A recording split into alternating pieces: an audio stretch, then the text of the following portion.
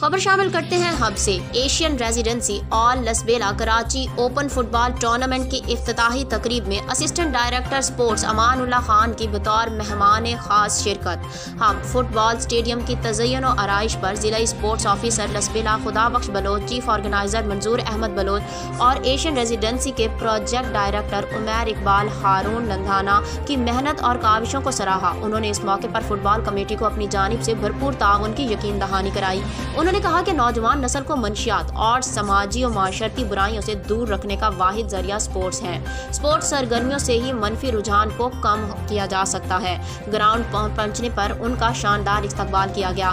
بعد ان کا سندھ پولیس اور آلسمیر فٹ بال کلب بیلا کے کھلاڑیوں کے ساتھ تعارف کرایا گیا۔ ٹیموں سے تعارف کے بعد باقاعدہ گیند کو کک لگا کر ٹورنامنٹ کا افتتاح کیا گیا۔